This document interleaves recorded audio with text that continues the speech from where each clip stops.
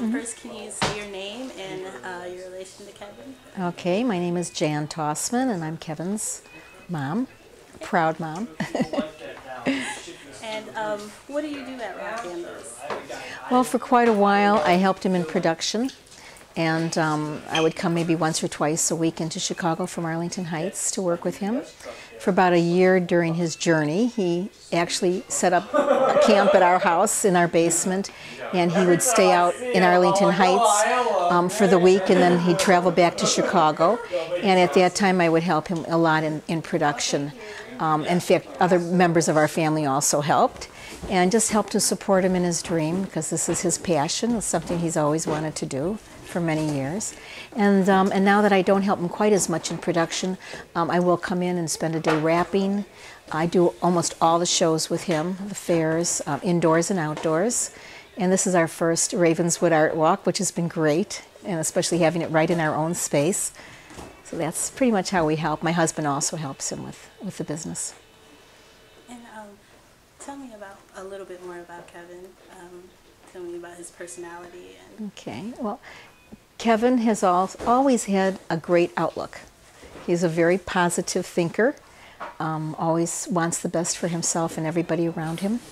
He's also always had an entrepreneurial personality. When he was a little kid, he had a little business uh, he wrote down on a piece of paper all the um, different kinds of things he could do to help people, and he'd go around to everyone's houses and let them know that he's available to help. He was maybe 10 years, 11 years old, 12 years old doing this, and he did everything from cleaning cabinets, you know, to doing things on people's roof, which I didn't know that he was doing, but he just did anything he could do to earn some money and, uh, and be busy doing good things for other people. And um, what's your favorite candle? Um, I have two favorite candles. My favorite summer candle is the Pink Rain. Um, it's just such a beautifully pleasant combination of jasmine and then grapefruit, pink grapefruit, and it has rain in it. It has cucumber because it's very invigorating. And um, I, so I love the combinations. All of his candles are like layers of fragrance, not just one thing. So I'd say pink rain for the summer. And then for the fall, um, probably to make when it's warming and heating the caffeinated. It just has such a yummy fragrance, you know. And, and the twisted tobacco is like that too. It's just very earthy and delicious when you're making it when it's warmed. So that's, yeah. Um, how, how are you liking the Ravenswood Art Walk? Well, we've really enjoyed it. In fact, it was a better turnout than I even imagined being our first time. Um, Kevin had contacted quite a few of our customers, and so happily so, a lot of them came, even during the rain yesterday.